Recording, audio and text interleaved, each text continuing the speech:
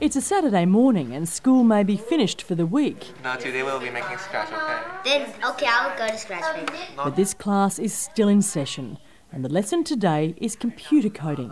Coding is like building stuff, different games, and designing electronics.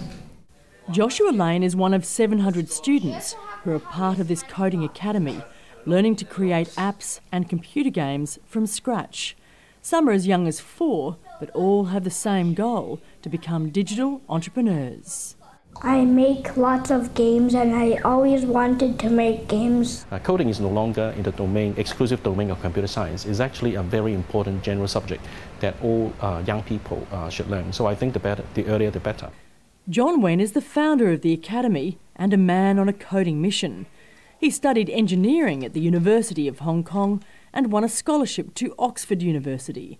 After a career in computer gaming, he turned to computer education and believes that digital literacy is now a core life skill.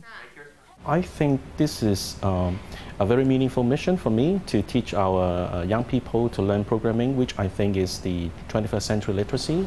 With apps, smartphones, and digital technology so much a part of our daily lives now, it's no surprise that here in Hong Kong there's a campaign to make coding a mandatory part of the school curriculum. While some countries like the United Kingdom and Estonia have it on the agenda, here, there's still no compulsory computer program in schools. But the enthusiasm is clearly there. This year, a group of 1,000 students from Hong Kong broke the world record for the most people coding at the same time. And now coders want the government to commit. I am a believer of uh, coding being something that every kid should learn at the uh, early stages. So Hong Kong schools are far from having something like that in the curriculum. Right now, I'm telling the computer what to do. For those parents who aren't waiting around, there are now more options than ever for teaching code literacy.